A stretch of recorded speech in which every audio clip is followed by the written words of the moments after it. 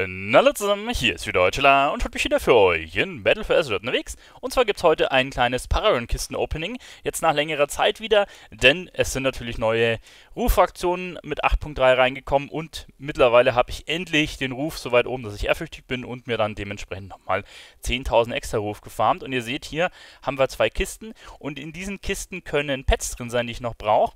Und ja, ich glaube auch, soweit ich weiß, die Vierer-Essenz von bestimmten Essenzen. Dementsprechend drückt mir die Daumen, dass ich die Essenzen kriege und eventuell die Pets. Die sind nämlich jetzt noch relativ viel wert, beziehungsweise ich brauche sie natürlich für die Sammlung, aber vielleicht seid ihr ihr auch beim den Kisten dran, um da noch ein bisschen Gold zu machen. Ich würde sagen, wir schauen rein. Ich habe von jeder Kiste eine, also einmal vom Abkommen habe ich eine und von den Rajani. Ich würde sagen, wir fangen mit der vom Abkommen einmal an. Ah, das war eine Niete und Rajani? Okay, ja gut.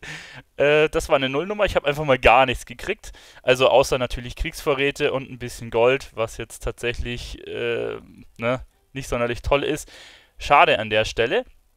Ähm, schreibt mir gerne mal in die Kommentare, ob ihr, wenn ihr schon die Kisten erspielt habt, ihr irgendwas Tolles rausbekommen habt, Essenzen oder Pets, würde mich auf jeden Fall interessieren. Und ja, ich fahre jetzt auf jeden Fall weiter. Und ja, ich denke mal in ein paar Wochen, wenn ich wieder Kisten habe, dann sehen wir uns bei dem Format gerne wieder. Euer Tela, bis zum nächsten Mal. Ciao.